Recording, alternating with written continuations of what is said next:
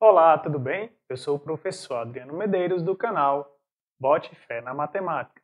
Seja muito bem-vindo e muito bem-vinda ao nosso curso de Cálculo 2. Na aula de hoje, eu vou resolver uma dúvida que foi enviada pela Tainá. É uma questão bem interessante sobre integral imprópria, em que eu ainda não trabalhei nos exemplos feitos durante o nosso curso.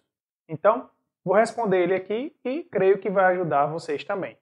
Tá bom? Então fica ligado até o final para que você possa ver como é que você vai resolver quando aparecer essa situação para você. Roda a vinheta.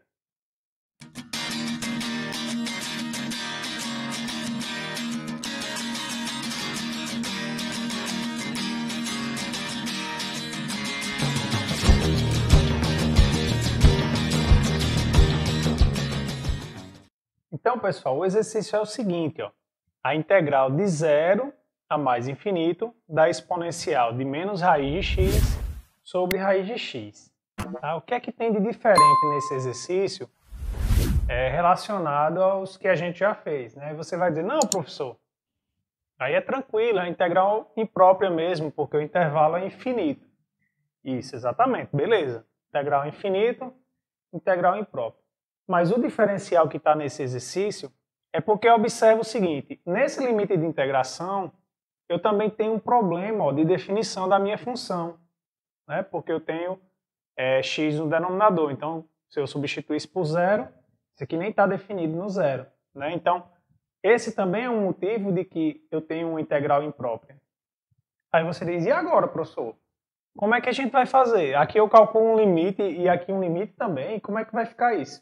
Exatamente você vai calcular dois limites ao mesmo tempo. Mas relaxa que você vai ver que é bem tranquilo. Então vamos lá. A dica que eu dou para você é o seguinte. O limite que vai ter a tendência para o infinito, você deixa para calcular por outro, tá bom? Então, eu vou colocar assim, ó.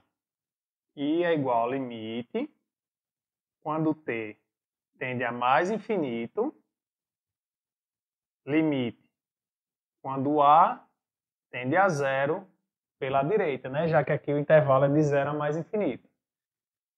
É, da integral, bem, o zero eu estou colocando A, então vai ficar ó, de A a T. Tá bom? Ó, exponencial de menos raiz de x sobre raiz de x de x. Então, vou chamar essa integral aqui de j. Tá? Primeiro vamos se preocupar em calcular a integral definida de A a T. Depois a gente efetua o cálculo dos limites, assim como a gente vem fazendo nos exemplos anteriores. Ó, observe o seguinte, e aqui é, é, é até bom essa integral aqui, né, porque vem muito naquele ponto que sempre é tocado, né? Professor, como é que eu sei como é que resolve essa integral? Se é por partes ou por substituição? Né? Essa é sempre a grande dúvida. Aí lembra que eu falei no início do curso, né, quando me perguntaram assim, professor, o que é que a gente precisa revisar de cálculo 1? E aí eu falei assim, revise derivada. Você tem que saber derivar para poder integrar. Aqui, pessoal, ó, é igual a multiplicação e divisão. Para que eu possa saber dividir, eu tenho que saber multiplicar. Tá? Então aqui é a mesma coisa. Ó. Por exemplo, quando eu bato o olho aqui nessa integral, eu já sei que a derivada da raiz de x é 1 sobre 2 raiz de x. Então eu já visualizo ó, que aqui, se eu chamar isso aqui de u, o du vai aparecer aqui. Entendeu? Então, assim, realmente é essa a questão. A gente tem que ter bem na nossa cabeça as regras de derivação das funções elementares porque quando a gente bate o olho na integral, a gente já vai conseguir visualizar se a gente vai conseguir fazer por substituição ou não. Tá bom? Aí se a gente não consegue por substituição, a gente vai pensar uma forma de integrar por partes. Tá? A ideia é essa. Então, como eu falei para vocês, ó, eu vou chamar raiz de x de u.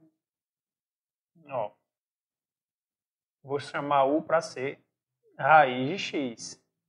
Então, o du é igual, derivada da raiz de x é 1 sobre 2 raiz de x dx. Tá? Professor, não me lembro mais não como é que deriva raiz de x. Lembra, já falei isso inclusive na aula passada. Né? A gente transforma sempre em potência. Ó.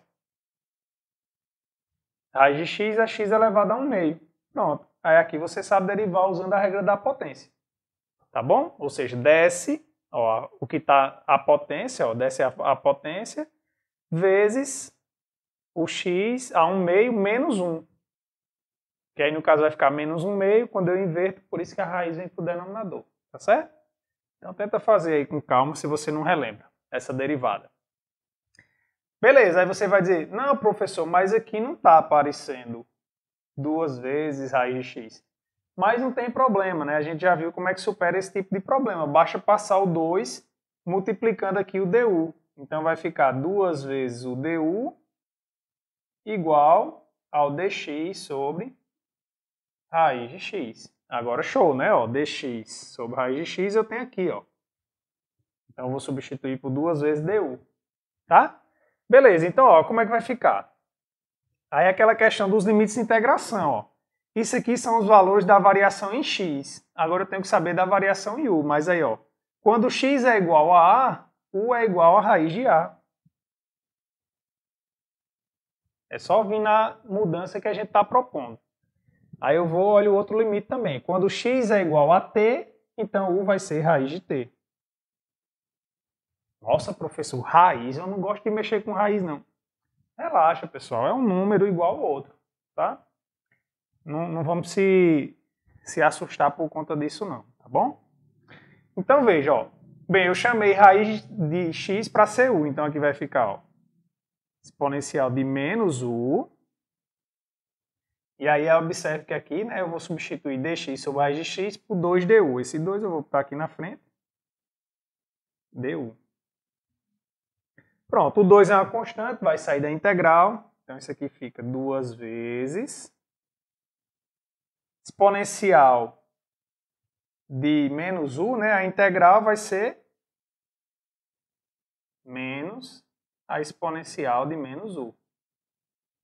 Variando da raiz de A a raiz de T.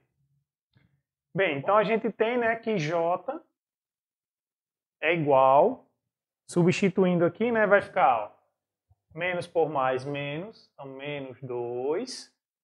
Eu vou botar entre parênteses, né, para a gente não errar o sinal. Vai ficar ó, exponencial raiz de t no lugar do u aqui, né, então vai ficar menos raiz de t menos a exponencial. Agora, substituindo raiz de A, vai ficar menos raiz de A. Tá?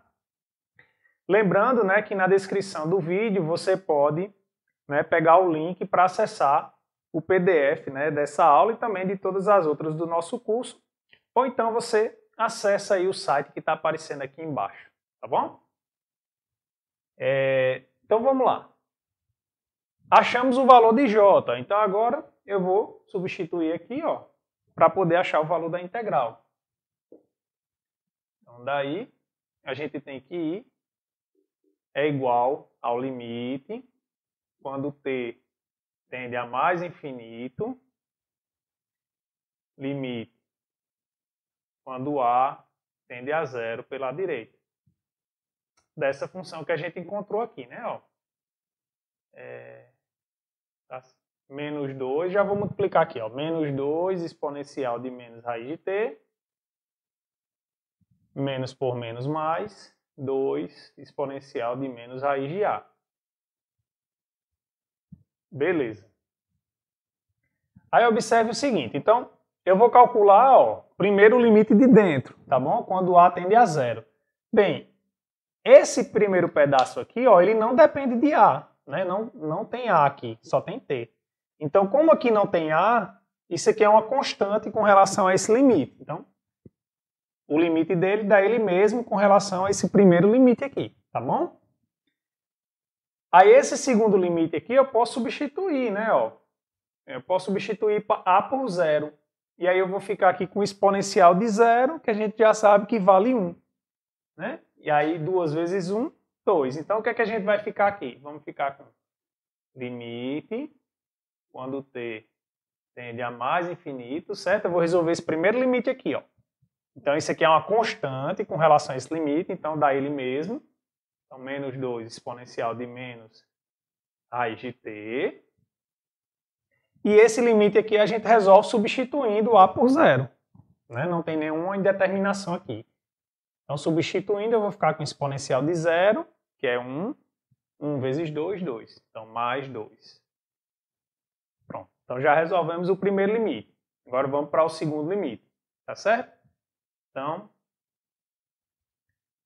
para resolver o segundo limite, né, ó, a gente lembra do gráfico da exponencial novamente.